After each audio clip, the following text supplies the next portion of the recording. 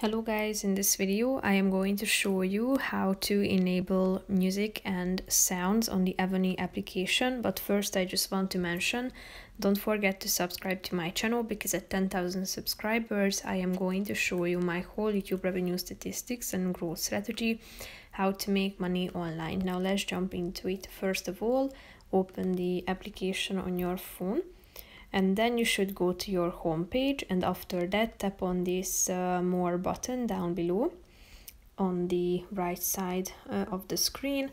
Then tap on settings. Click on options which is the third uh, button.